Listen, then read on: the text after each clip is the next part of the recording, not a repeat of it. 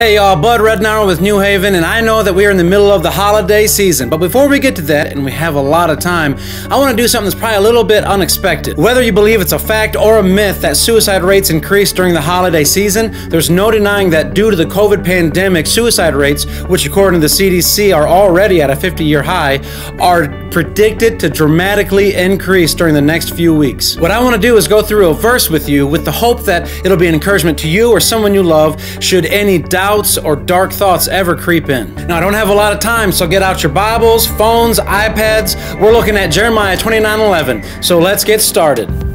For I know the plans I have for you, declares the Lord plans for welfare and not for evil, to give you a future and a hope. Let's get started here at the very beginning. Number one, the first takeaway is For I know the plans I have for you. Ask Mary and Martha if they felt cool at the time with God's plans to delay in coming to Lazarus in John 11, or even if Peter was totally cool with Jesus going to the cross. Before we see the entire picture, the very beginning of God's plans can be a very scary, challenging place to live. And maybe that's where you're living living right now. But who holds the blueprints to your life? For I know the plans I have for you, declares the Lord. Our Heavenly Father knows the plans, so we don't need to know, we need to trust. It's easier said than done, I get it. But could our plan ever be greater than God's plan? Are our ways better than God's ways? Are our thoughts deeper and more vast than His thoughts? No. Psalm 139, verses 17 and 18 says, How precious to me are your thoughts, O God!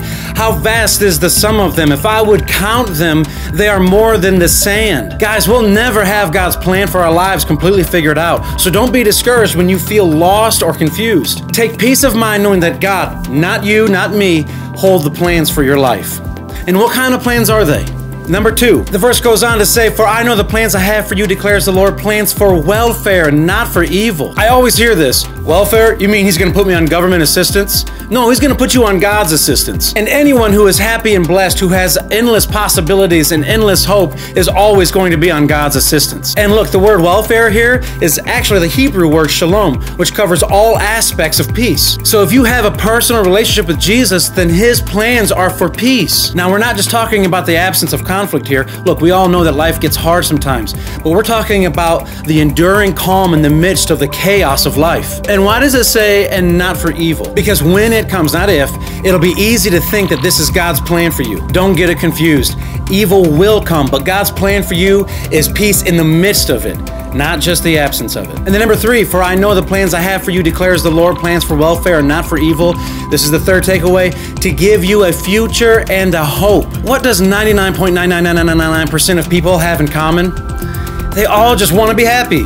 Everybody wants to be happy.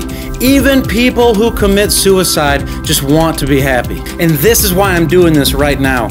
Because maybe y'all seen this already, but the CDC released a study over the summer that said one out of four adults actually contemplated suicide. Have you not read Psalm 139, verse 14? I praise you, for I am fearfully and wonderfully made. Wonderful are your works, and my soul knows it very well. When God formed you, it was a sacred, priceless, and wonderful design.